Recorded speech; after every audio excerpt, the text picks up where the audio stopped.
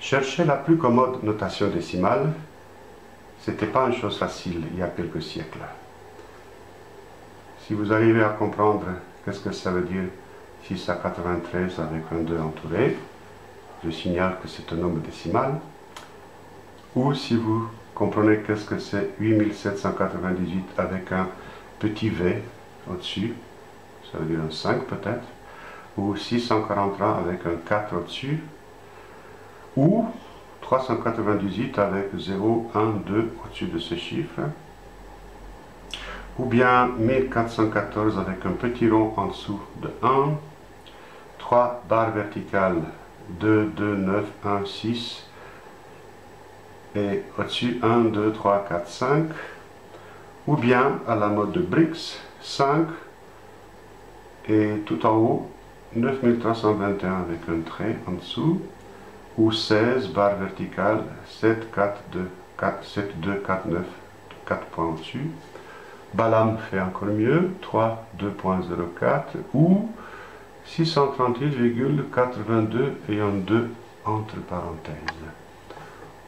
Ou bien 3.57, 5 et un 2 au-dessus, 7 et un 5 au-dessus. Ou bien un livre de Newton traduit par quelqu'un, 732, et puis une sorte de barre comme ça, verticale horizontale, 569. Essayez de deviner, pour chacun, quelle est l'écriture décimale, avec une virgule, bien sûr, de nos jours. Je vous laisse quelques minutes, ou un peu plus.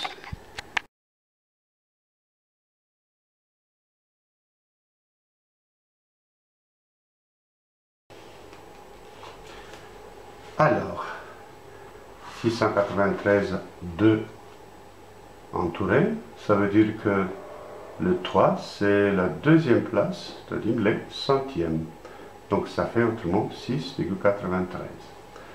Pour celui-ci, le 5 montre que 8, c'est en cinquième position après virgule. Donc 8, c'est les entiers, il y a un espace ici. Et puis 798, euh, sont des centièmes de millième, cinquième position. Ou bien quatrième position, 643. 3, c'est en quatrième position après virgule. Aux anames, 3 les unités, 9 dixièmes, 2 les centièmes. Burgi met un zéro pour signaler où sont les unités. Donc avant c'est les unités, après c'est les dixièmes, etc. Johnson fait encore plus fort.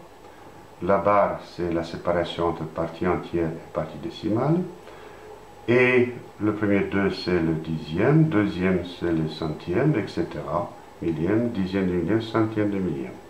Briggs écrit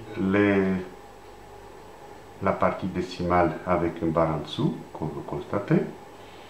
Jäger met des petits points pour montrer que ça, ce sont des dixièmes, centièmes, millièmes, dixièmes de millième.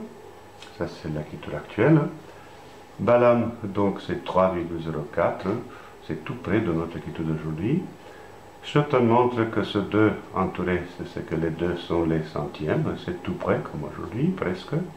Là, c'est très joli. Hein. Le 5 montre que c'est la deuxième place, autrement des centièmes. 7, c'est cinquième place, autrement dit, des centième de millième. Newton fait presque comme aujourd'hui avec la traduction de son livre, juste que la barre ici c'est inutile. Et voilà, en appuyant, on trouve ce document où il écrit exactement comme ça.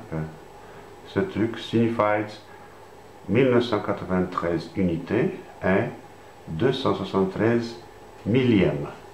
Autrement dit, 273 sur 1000. Et voilà le nombre 1617, écrit à la mode d'aujourd'hui, dans les pays francophones, parce que dans les pays anglo-saxons, anglo il y a un point décimal.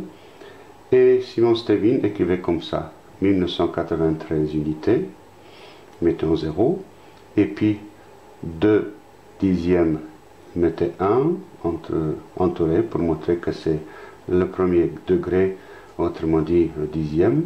Deuxième degré, c'est le centième, sept centièmes. Et troisième degré, c'est les trois millième de ce nombre.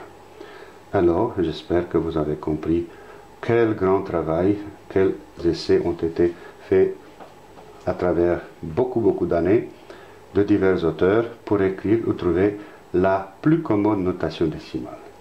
Si on trouve encore plus simple que ça, ou avec le point décimal comme dans le pays anglo-saxon, pour l'instant, il n'y a pas un dans ce sens-là.